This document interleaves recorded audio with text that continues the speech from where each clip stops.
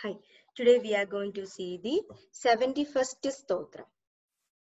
Brahmanyo Brahma Krit Brahma Brahma Brahma Vivardanaga Brahma Vid Brahmano Brahmi Brahmajno Brahmana Priyaga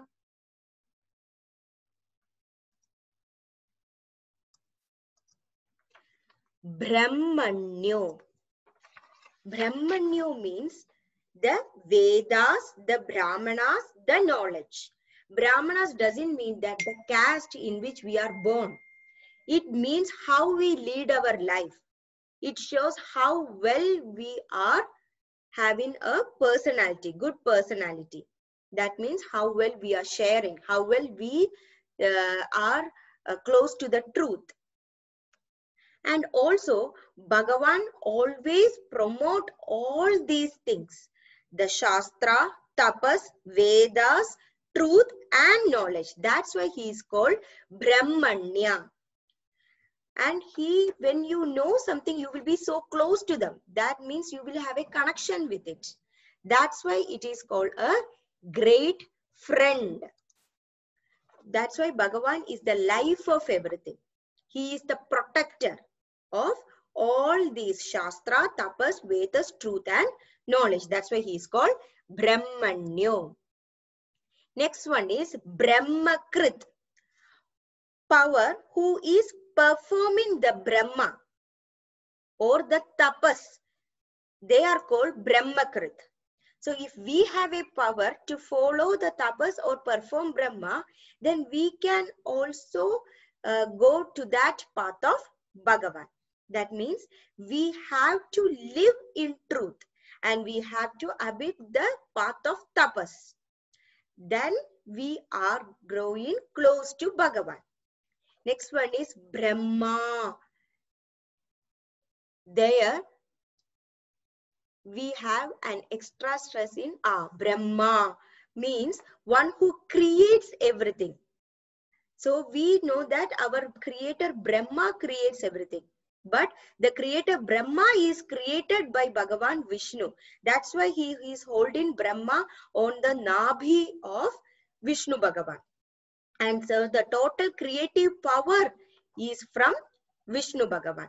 So the that's why he is called Brahma. Next one is Brahma.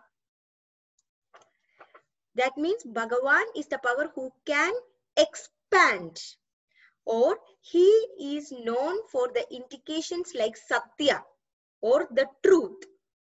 Bhagavan is always known for truth, knowledge and infinity.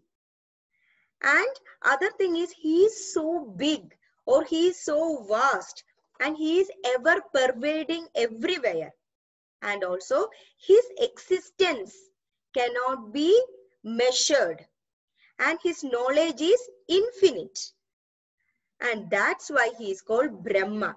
The knowledge is something that is lifting us from the false perception. Our perception is when you uh, finish a standard or lesson or some chapters or some subject in the school, college, masters, we are done. That false perception. Oh, if he is well educated, like he knows uh, the know, he has the knowledge or he is intellect.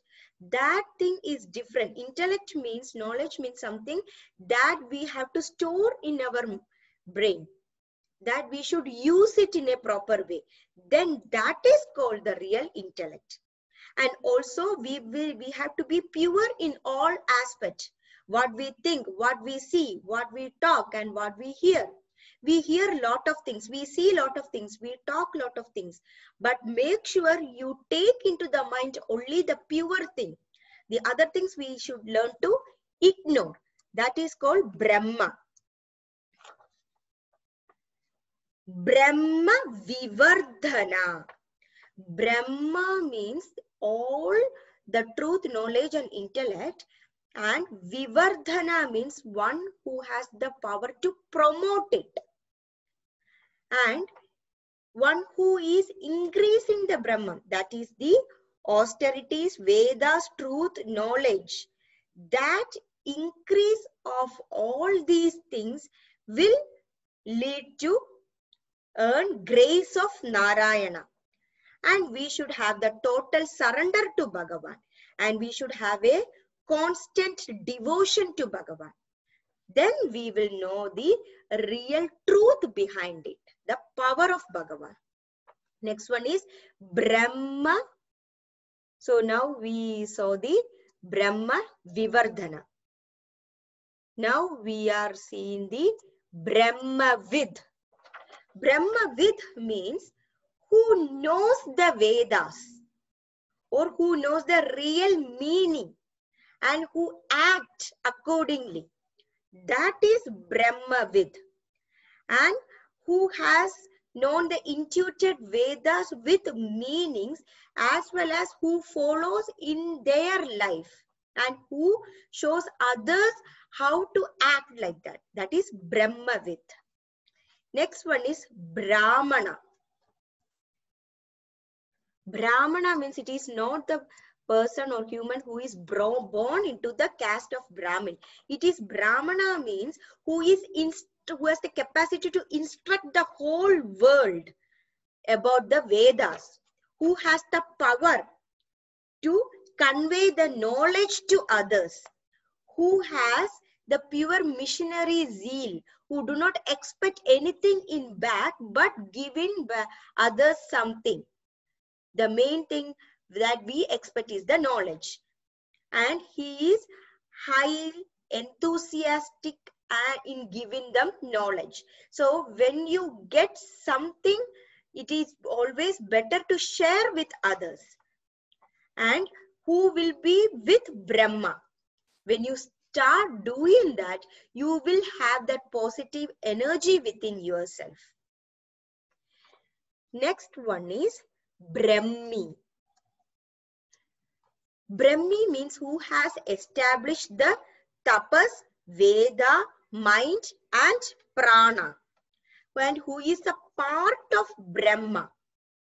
And they are called Brahmi. And we also known as in the Gita Bhagavan uh, Bhagavad Gita Bhagavan says to Arjuna Bhagavan is the author of Vedas and Bhagavan is the knower of Vedas. That's why he is called Brahmavid or Brahmana or Brahmi. And next one is Brahmajna.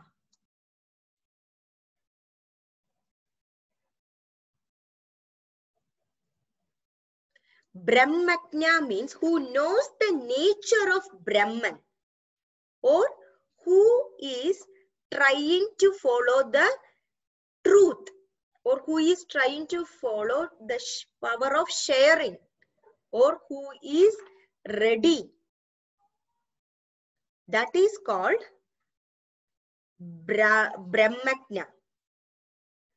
Or when you are waking, you are called waker. So then you will have the meaning of dreamer. So when you are having a deep sleep, you should wake up then only you will know the difference between the dreamer and the waker. But if you are a sleeper, you will continuously sleep.